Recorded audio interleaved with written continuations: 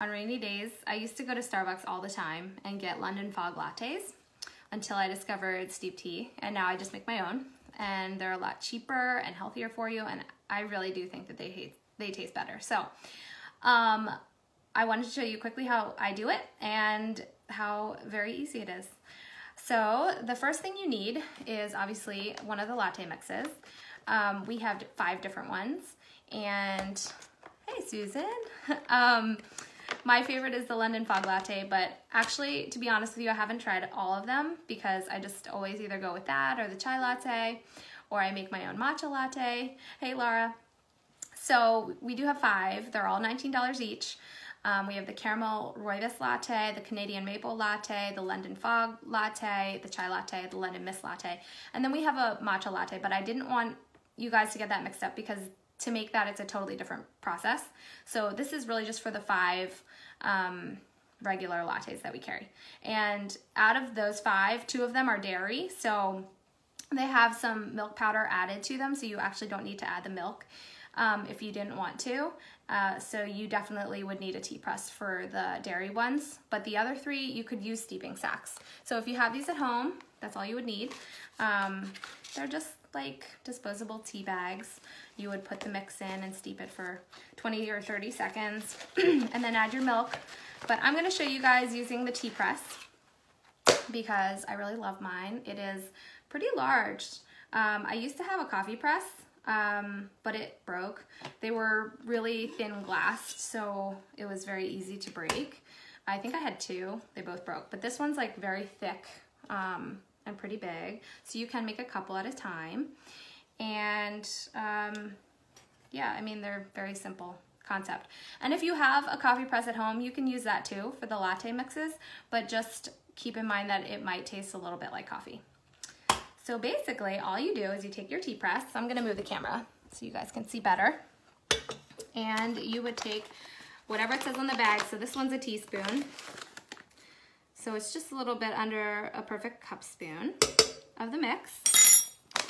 Hey, Tracy. And then you would just pour half a cup of hot water. This was literally just boiling in there. And you only let it steep for 20 seconds. So literally, I mean, I'll, I'll set this timer, but it's very quick.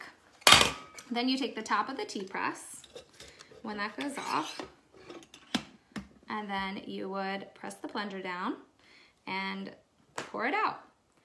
And that's all you do for the actual mix part. And then to make it into a latte, okay, so it just went off.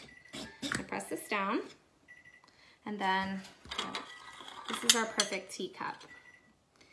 I'm gonna pour it in there so you can see it.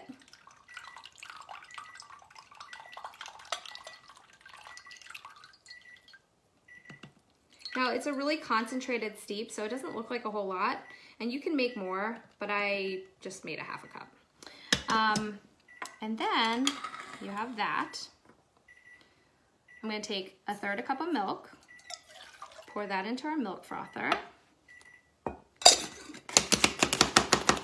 you just froth up the milk a little bit. And I know I've told everyone my trick to milk frothing, but that third a cup of milk just made all of this milk, like pretty much doubled in size.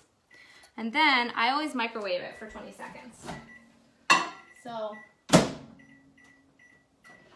that sets the milk so it doesn't fall when you put it into your drink.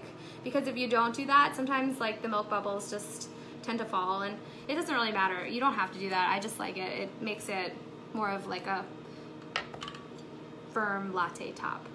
Um, so after that's done um, microwaving, I'll just pour that on top and that's all you do with our latte mixes. Um, this is our trendy tea press, our stainless steel milk frother.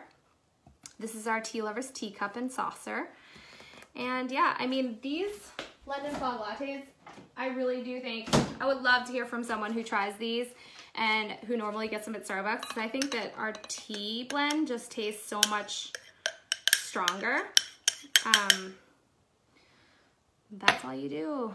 That's a London Fog Latte. I know it's a lot of milk. It looks like a lot of milk, but it was only a third a cup. And so anyway, using a third a cup of skim milk, it's probably four grams of sugar, probably around 25 calories, and that's only from the um, milk. The actual mix doesn't have any calories or any sugar. Whereas like the London Fog Latte at Starbucks, that is 180 calories and 30 grams of sugar. So there's a big difference. Plus you're paying around $4 for that. And our latte mixes will make you at least 20 cups. So that will be $19. It's a lot cheaper in the long run.